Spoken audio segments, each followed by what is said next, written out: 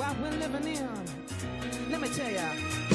And it's a world that man can eat at all. When things are big that should be small. Who can tell what magic spells we